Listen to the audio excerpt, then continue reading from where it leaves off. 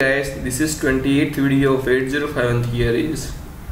My name is Milan Shah and today's topic is index addressing mode.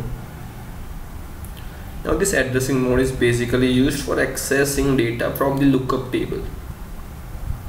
Here the address of memory is index means the address of memory is added to form the actual address of memory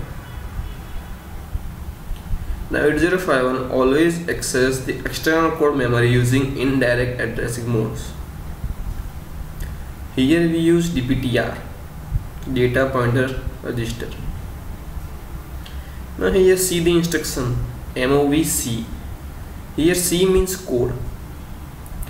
A comma the rate A plus DPTR. So what it will do?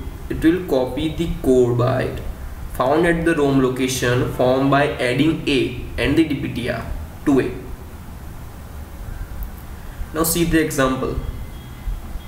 Move DPTR 1234H, move A 56H.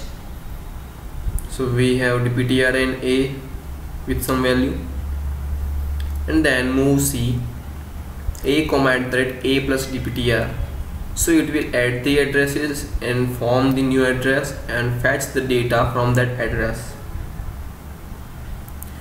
In theoretical way we can say the content of a register is added with the content of DPTR and the resultant is the address of memory location from where the data is copied to a register. So this is the index mode this is the last one fifth addressing mode. So do like share subscribe comment below. And thanks for watching